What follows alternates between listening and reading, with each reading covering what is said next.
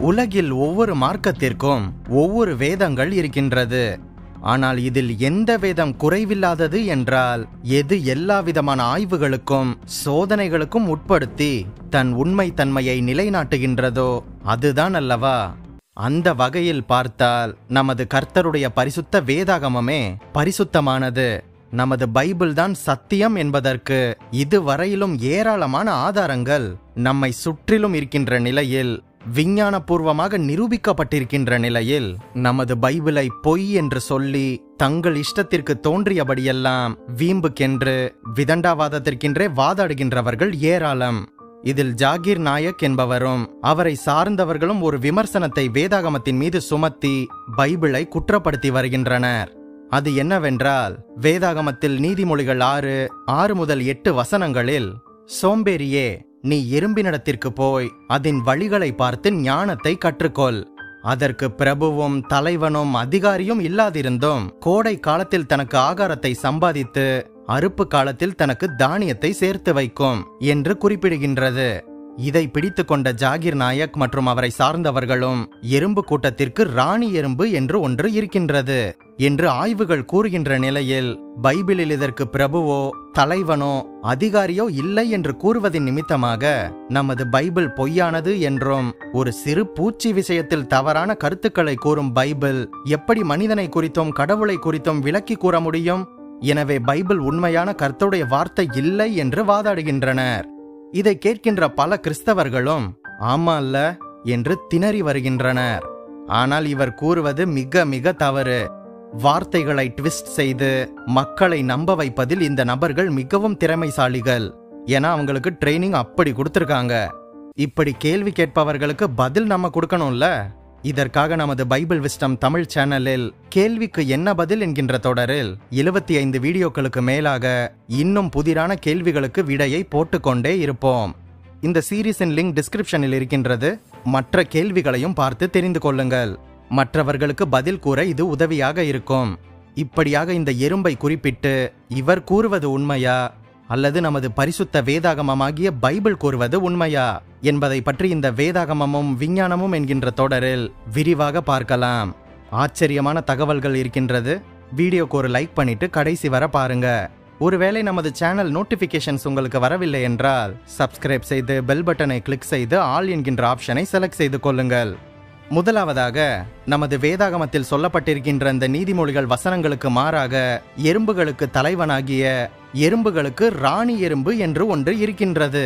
என்பதற்கு ஆதாரமாக மைர்மகாலஜி என்கின்ற எறும்பை குறித்த ஆய்வு பாடத்திலிருந்து இந்த ஜாயிர் நாயர் குறிப்பிடுகின்றார். நான் கேட்கின்றேன் இவ்வளோ பேசுனீங்களே நீங்க? ஆனா ஏதோ அவசரத்துல ஒன்ன மட்டும் கவனிக்காம அப்படியே விட்டுட்டீங்களே பாஸ். அது என்னவென்றால் ராணி எறும்பு என்று ஒன்று இருப்பது உண்மைதான். ஆனால் அந்த ராணி எறும்பு மற்ற எறும்புகளை ஆள்வதில்லை. மற்ற எறும்புகளுக்கு கட்டளையிடுவதில்லை. மற்ற எறும்புகளிடம் அதிகாரமும் செலுத்துவதில்லை. மாறாக இந்த ராணி எறும்பு முட்டையிடுவதும் அதன் புற்றுக்கூட்டை பாதுகாப்பதும் தான் இந்த ராணி எறும்பின் வேலை. அதுபோக மற்றொரு உண்மை என்னவென்றால் அந்த குறிப்பிட்ட புற்றுக்குழுவில் உள்ள எல்லா எறும்புகளுக்கும் ராணி எறும்பு என்று கூறப்படுகின்ற எறும்புதான் தாயானவள். பணிவிட எறும்புகளை காட்டிலும் இந்த ராணி எறும்பு உருவத்தில் பெரிதாகவும் இறகுகள் உள்ளதாகவும் காணப்படும். ஒரு எறும்பு குழுவில் இந்த ராணி எறும்பின் பங்கு இவ்வளவுதான். அதுபோக ராணி எறும்பு மாத்திரமல்ல அந்த குழுவில் இருக்கின்ற வேறு எந்த எறும்பும் மற்ற எறும்புகளை அதிகாரமே செலுத்துவதில்லை என்பதுதான் இவர் குறிப்பிடுகின்ற இந்த மர்மகாலஜி பாடத்தின் ஆய்வின் மூலம் ஆதாரத்துடன் உறுதி செய்யப்பட்டிருக்கின்றது. இதை இவர் படிக்கவில்லை போல ஒரு லைனை மட்டும் படிச்சுட்டு பேசிட வேண்டியது. எதுனாலும் ஃபுல்லா படிச்சு தெரிஞ்சுக்கணும். அதன் பின்புதான் அதை பற்றி குறை கூற வேண்டும். கிறிஸ்தவத்தையும் நமது பைபிளையும் எப்போதும் குறை கூறி வருகின்ற இவருக்கும் மற்ற மதங்களின் ஆட்களுக்கும் இந்த உண்மை மட்டும் எப்படி தெரியாமல் போனது? நமது பைபிள் பொய்யுரைப்பதில்லை. ஏனென்றால் நமது வேதாகமத்தின் தேவனே பொய்யுரையாதவர். அவர் நேற்றும் இன்றும் என்றும் மாறாதவர். ஆஹா நமது வேதாகமமாகிய பைபிள் எத்தனை உண்மையுள்ளது என்று சொல்லி தேவனை துதிக்க தோன்றுகின்றதல்லவா? இருங்க இருங்க கொஞ்சம் பொறுங்க.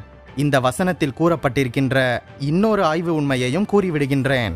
அதன் பின்பு நாம் தேவனை மகிமைப்படுத்தலாம். ஆயிரத்தி எழுநூத்தி நாற்பத்தி ரெண்டாம் ஆண்டில் கர்த்தரின் படைப்பில் அதிசயத்தை ஆய்வு செய்த French ஆராய்ச்சியாளராகிய Rene Antoine Ferchault de Reaumur என்கின்ற அறிஞர் எறும்பு கூட்டத்தில் பெரும்பாலான எறும்புகள் பெண் எறும்புகள் என்ற முதல் ஆய்வு தகவலை உலகிற்கு வெளியிட்டார்.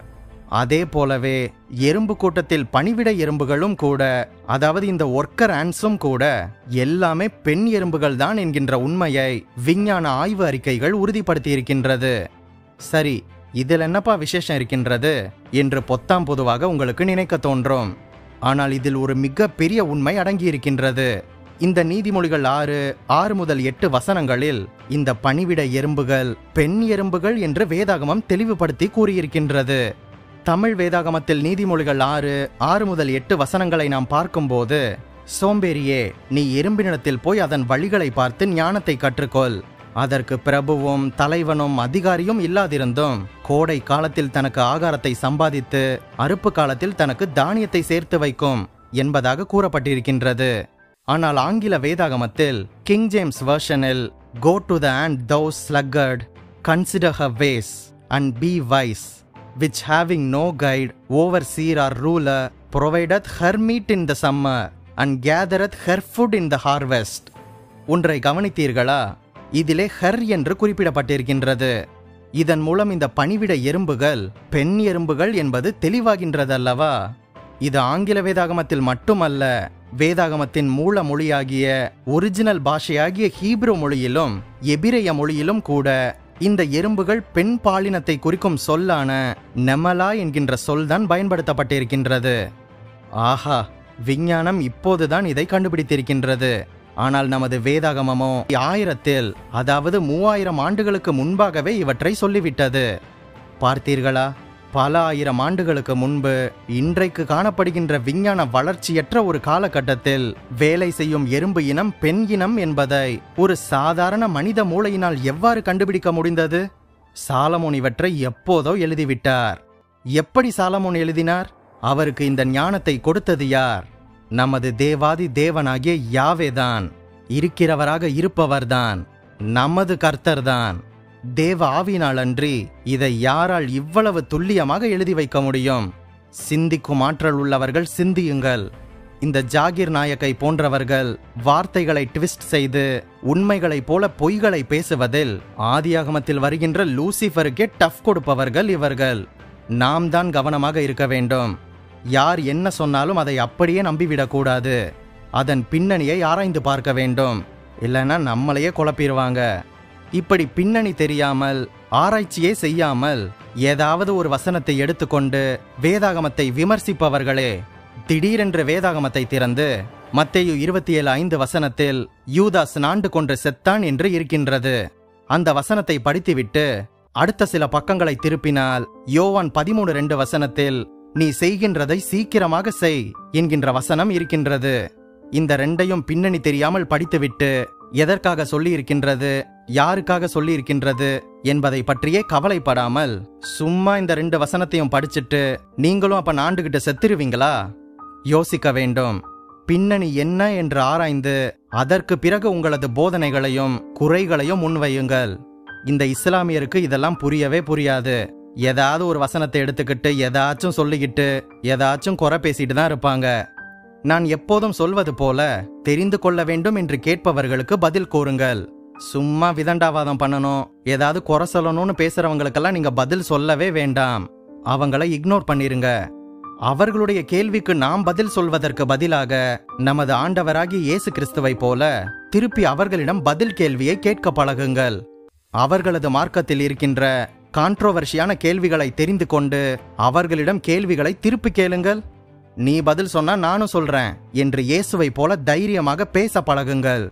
நம்ம எப்பயுமே கேள்விக்கு பதில் சொல்லி தான் பழகிட்டோமே தவிர அவர்களை திரும்பி கேள்வி கேட்பதில்லை. இயேசுவை பின்பற்றுவோம். விதண்டாவாதம் செய்பவர்களிடம் மறு கேள்வி கேட்போம். ஒரு சாதாரண எறும்பு விஷயத்தில் நமது வேதாகமமாகிய பைபிள் இவ்வளவு துல்லியமானதாக இருக்கின்றது. விஞ்ஞான உலகம் வருவதற்கு முன்பாகவே இதையெல்லாம் வேதாகமம் சொல்லிவிட்டது. நமது பரிசுத்த வேதாகமம் முற்றிலும் உண்மை. நமது பைபிள் சொல்வது அனைத்துமே சத்தியம். எப்போதுமே வேதாகமம் மாற்றி மாற்றி பேசாது. விஞ்ஞானம் தான் மாறிக்கொண்டே இருக்கும். விஞ்ஞானிகளின் சொற்கள் தான் அவர்களது கருத்துக்கள் தான் மாறுமே தவிர நமது பைபிளின் கருத்துக்களும் போதனைகளும் சத்தியமும் எப்போதுமே மாறாது. இந்த சத்தியமாகிய பைபிளை நம்புகின்ற நீங்கள் ஆசீர்வதிக்கப்பட்டவர்கள். இந்த பதிவு உங்களுக்கு பயனுள்ளதாக இருந்திருக்கும் என்று நம்புகின்றேன். நம் பைபிள் விஸ்டம் தமிழ் சேனலுக்கு உங்களால் முடிந்த உதவியை செய்யுங்கள். இந்த வீடியோவையும் நமது சேனலையும் உங்கள் கிறிஸ்தவ நண்பர்களுக்கு அறிமுகம் செய்யுங்கள். வேதாகமமும் விஞ்ஞானமும் என்கின்ற தொடரில் பழைய எபிசோடுகளை நீங்கள் பார்க்க தவறியிருந்தால் டிஸ்கிரிப்ஷனில் லிங்க் இருக்கின்றது. பார்த்து கொள்ளுங்கள். மேலும் பல வேதாகம தகவல்களையும் சத்தியத்தையும் அறிய நம் சேனல் பிளேலிஸ்ட் பக்கத்திற்கு சென்று மற்ற வீடியோக்களையும் பாருங்கள். நீங்கள் ஆசீர்வதிக்கப்பட்டவர்கள்.